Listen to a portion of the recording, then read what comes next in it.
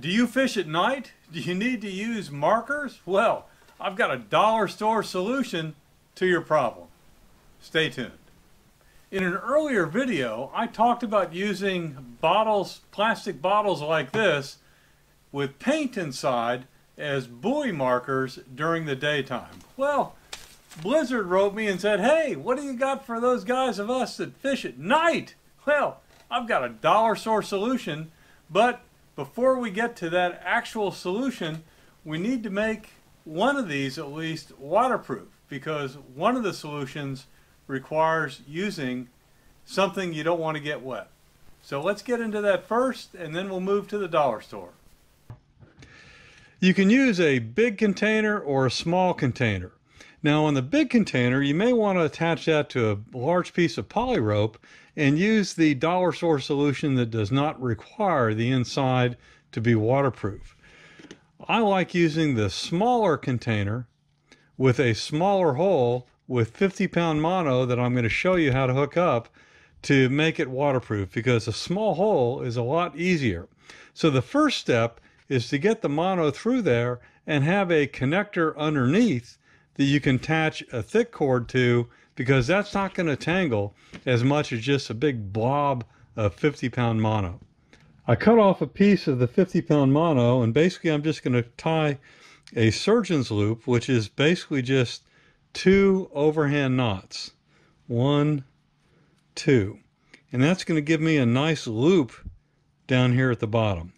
Then I'm going to take the tag end and I'm going to run that through the small hole I drilled I want to get that as tight as I can. Let me cut off this tag end here. So I pull that as tight as I can, and then I'm just going to tie an overhand knot and try and slide that down as close to the cap as I can get it.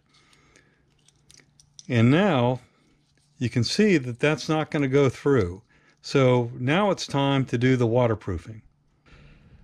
To get this little hole filled in, what I've done is I've put some epoxy in here and I'm kind of tapping it around the hole.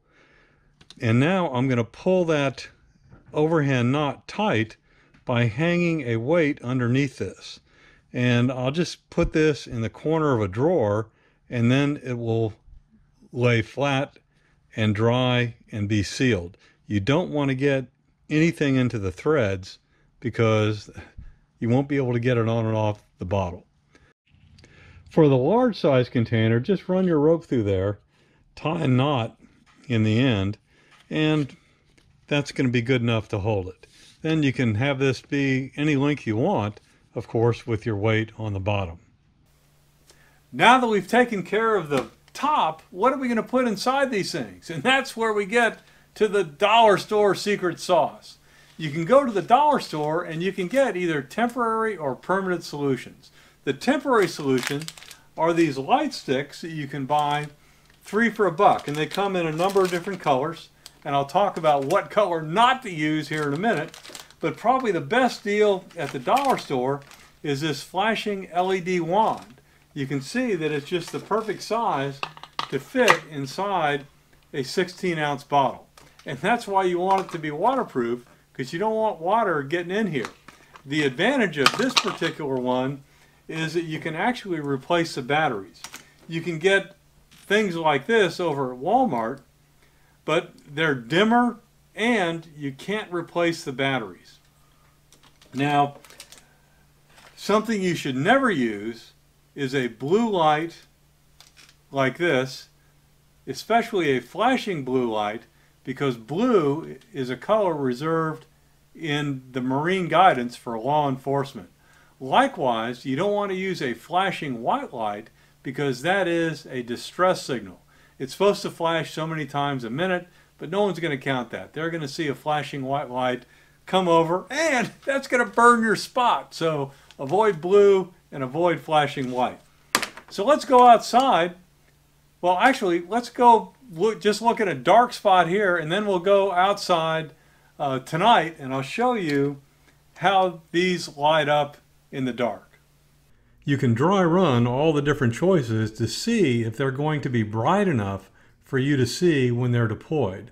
So here's the red stick, and here's just one of those little skinny things from one of the necklaces. Well, let's go look outside and see what's the best color.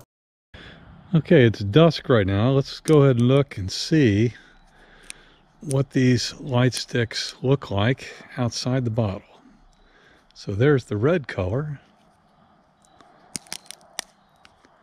There's the yellow. That's clearly brighter if that's an issue for you.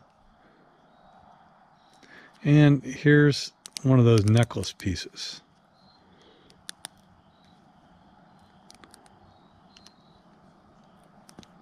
So there's three options. It's pretty obvious which one is the best choice. Stick with yellow. And here's the wand that I got from the dollar store. You can see it has plenty of options. There's the wand inside one of the containers. Let's pop it in the water and see how it looks. Well, the camera doesn't really pick it up very well, but I could see that. Now let's use one of the light sticks. We'll go with the bright yellow. That seems to be the best color.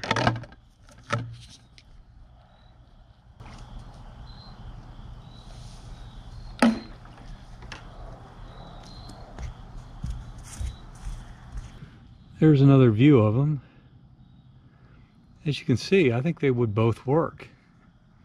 And if you needed the one with the light stick to be brighter, you could just add light sticks to it. There you go, a solution to a marker buoy at night. Just put the right length of cord on the end of it, the appropriate weight to keep it from drifting, and you're all set. If you guys have some more ideas for how to have a lighted marker buoy at night, throw them in the comments. And I really appreciate Blizzard sending me the uh, comment in an earlier video and asking the question because it allowed me to make another video. Take care.